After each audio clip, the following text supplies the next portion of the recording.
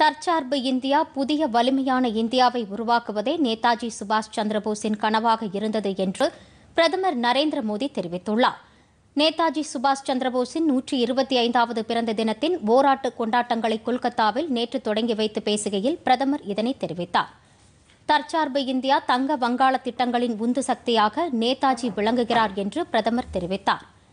புதிய வலிமையான இந்தியா உருவாகி வருவதை நேதாஜி பார்த்திருந்தால் அவருடைய உணர்வு என்னவாக இருக்கும் என தாம் நினைத்து பார்ப்பதாக குறிப்பிட்ட பிரதமர் இதைத்தான் நேதாஜி கனவு கண்டார் என்று கூறினார்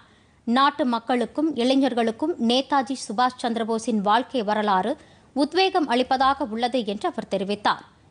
எல்லை கட்டுப்பாட்டு கோட்டு பகுதி முதல் எல்லை கட்டுப்பாட்டு பகுதி வரை நாட்டின் இறையாண்மைக்கு சவால் விடப்படும் விடப்படும் போதெல்லாம் நேதாஜியின் பாதையை பின்பற்றி உரிய பதிலடி கொடுக்கப்பட்டு வருவதாக பிரதமர் நரேந்திர மோடி குறிப்பிட்டார்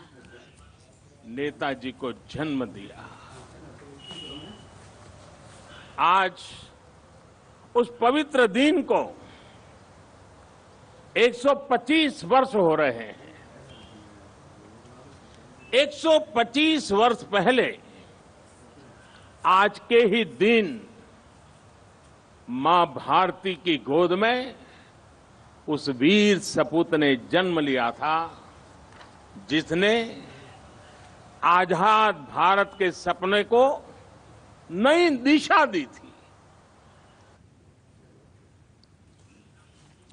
நேதாஜியின் பாதையை பின்பற்றி தற்சார்பு இந்தியா இலக்கை அடைவதற்கு மேற்கு வங்கம் முக்கிய பங்கு வகிக்க வேண்டும் என்று பிரதமர் கேட்டுக்கொண்டார் இந்நிகழ்ச்சியில் நேதாஜியின் நினைவாக நாணயத்தையும் அஞ்சல் தலையையும் பிரதமர் வெளியிட்டார்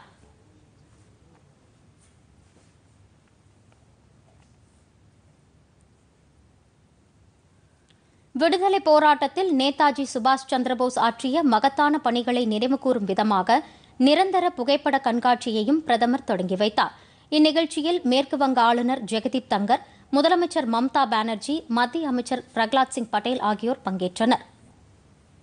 பொதிகை செய்திகளை யூ டியூபில் தமிழ் நியூஸ் தூர்தர்ஷன் என்ற சேனலிலும் முகநூலில் டிடி பொதிகை நியூஸ் என்ற பக்கத்திலும் ட்விட்டரில் டிடி நியூஸ் சென்னை என்ற பக்கத்திலும் இன்ஸ்டாகிராமில் டிடி பொதிகை நியூஸ் என்ற பக்கத்திலும் காணலாம்